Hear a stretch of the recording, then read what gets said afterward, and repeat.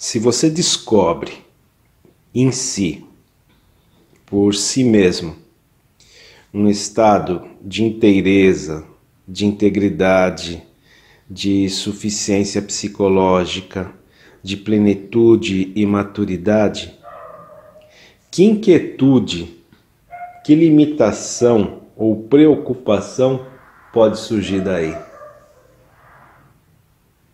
Nessa descoberta, que tipo de apego ou dependência pode persistir?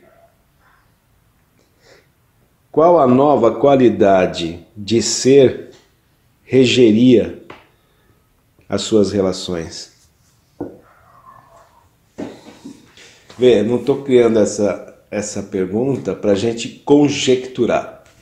Uhum. Não, só para a gente lançar a pergunta e ficar aberto à revelação da resposta. Ficar aberto. E uma outra coisa que me veio também durante a meditação, aquela questão que a gente estava conversando sobre as atividades, não? Por você nascer dentro de uma família cuja a base é medo, é cálculo, é a busca de segurança e não é amor, você desconhece essa outra qualidade que é amor. Por essa família ser formada dentro de uma sociedade que é regida pelos mesmos valores, que é medo, é cálculo, é busca de segurança e prazer, você sofre o mesmo tipo de influência e desconhece o que é amor. Então é muito fácil de você perceber olhando uma criança que essa ausência de amor, esse desconhecimento do amor, essa disfunção causada pela família e pela sociedade, que deveria ajudar você a desabrochar em inteligência e amor, mas ao contrário faz você se fechar dentro de um estado não inteligente e bruto. Bruto, incapaz de, de sentir, incapaz de tocar, incapaz de se permitir ser tocado. Você consegue ver que mesmo as crianças, e aí você olhando as crianças, você vai facilmente lá na sua história, você vê que essa ausência de inteligência e essa ausência de amor cria um estado de profunda inquietude e tédio que lança você desde a mais tenridade a buscar preenchimento em atividades sensoriais. Buscar por prazer sensorial, desde a mais tenridade. E essa inquietude, como você não tem nem na família, nem na escola, nem na sociedade, nada ninguém que já teve a capacidade de sentar com essa inquietude, compreender essa inquietude, transcender essa inquietude, descobrir uma outra qualidade de ser, como não tem isso, você vai arrastando esse estado de inquietude, tentando abafar esse estado de inquietude, de tédio, com uma série de atividades. E a sociedade está sempre indicando para você novas atividades. Ah, tem bastante certo? Então você, olhando para trás hoje, você percebe, você tentou fugir por N tipos de atividades.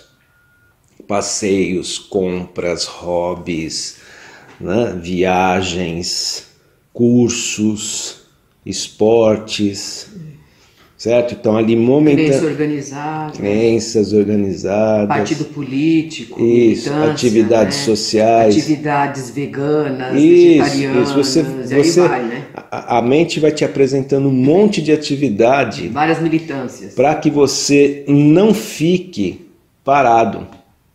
Então a fuga pela atividade né, você até dizia, né, como que o, as frases da sociedade, né, que acaba enganando a gente. Mente vazia, oficina do diabo, né? Hum. Então, assim, você tem que estar sempre se ocupando para não ter a, a, mente vazia. Porque se você dá um lapso de, de vazio, você entra em contato com o próprio vazio que você é. a própria insuficiência que você é. Então aí você percebe que a fuga pela atividade é algo que é super incentivado na sociedade. É.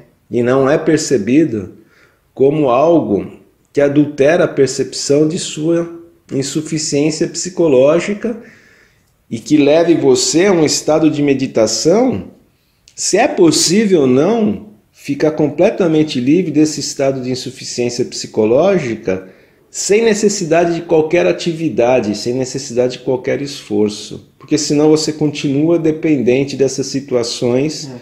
pela qual você está fugindo desse enfrentamento com essa insuficiência psicológica. Então, é, perceber isso é muito claro. Eu olho, eu olho, meu pai mesmo falava: não, eu tenho que arrumar alguma coisa, eu não posso ficar parado, eu tenho, eu tenho que estar sempre me ocupando, tenho que estar sempre me ocupando. Por que isso? É, e você vê que você é? percebe mais isso ainda conforme é, uma pessoa que é muito ativa, ela não consegue nem ficar de férias. Ela não tira nem 30 dias de férias porque ela não consegue ficar Exatamente. ali parada com ela mesma. Porque a hora que, que para, que dá uma. que abaixa a adrenalina, aquela coisa, sobe, né? Sobe, Todas as coisas sobem. Sobe e aí ninguém quer ouvir. É. Ninguém, ninguém quer ver, ouvir. E aí você vê muito frequente isso, quanto mais assim, é, por exemplo, na terceira idade, né? Quanto mais ativa foi a pessoa, ela vai querer continuar a atividade. Aí tem várias atividades para a terceira idade que você vê que é para não deixar parar. E Exatamente. Quando, e aí quando o idoso para, que ele entra em contato com isso, vem a depressão. E a maioria acaba, a maioria dos idosos, depois de uma certa idade, acaba morrendo de depressão. Porque não consegue ficar com aquilo. Não consegue ficar, porque a, a, a sociedade, a nossa cultura é de esforço, é de, é de é, você tem que estar em atividade o tempo todo.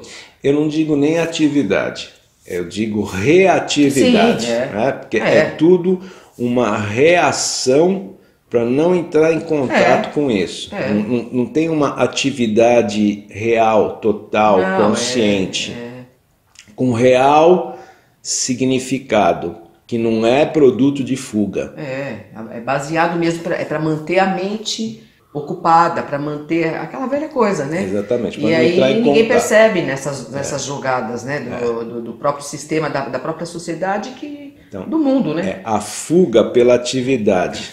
Por vários tipos de atividade. Sim, cada um vai certo? aquilo que gosta mais. É tudo, você está sempre buscando uma atividade para se distrair. É, para um não, entrar, é, não entrar em contato com isso. É e, e, e, e, se perguntar se você é só isso, se não pode ter um outro estado de ser. É, um, um outro modo de ser que você não precise dessas atividades. Exatamente.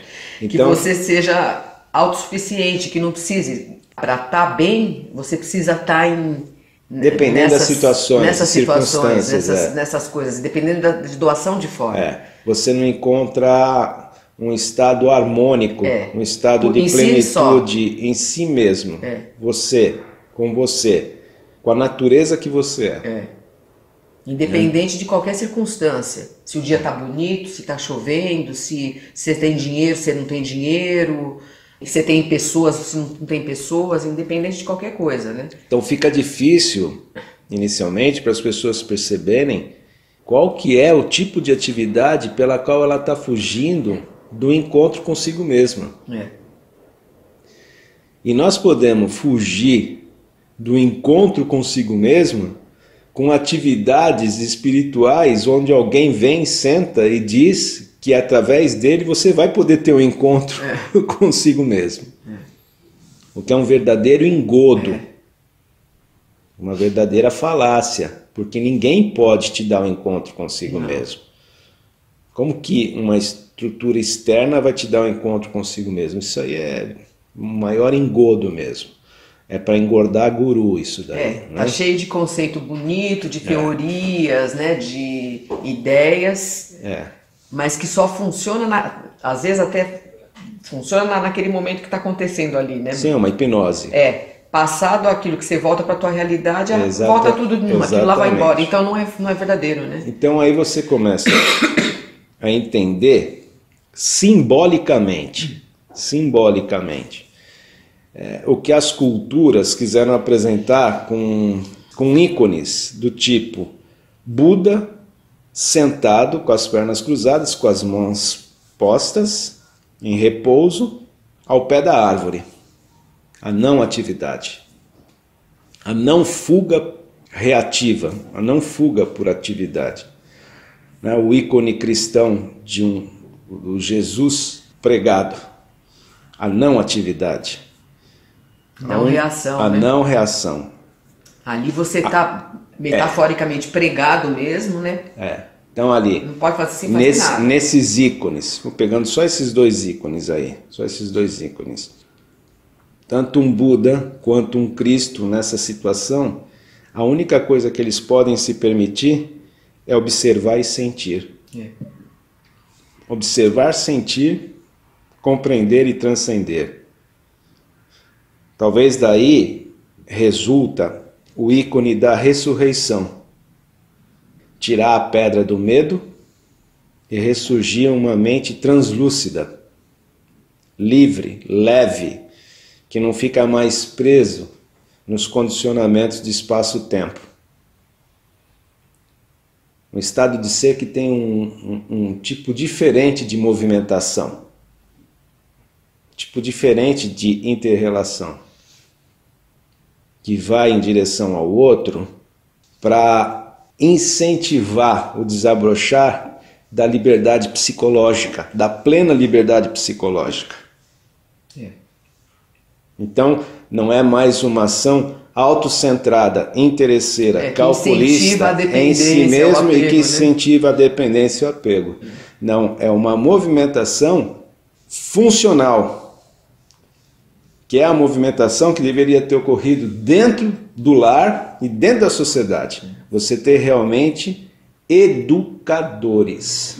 É, mas eles não sabiam. Seja alguém que educa as suas dores, um educador alguém que faz você sentar com a sua dor para observar essa dor e na observação dessa dor, compreensão dessa dor, transcendência dessa dor, o desabrochar disso que eles tentam apontar com a palavra amor. É.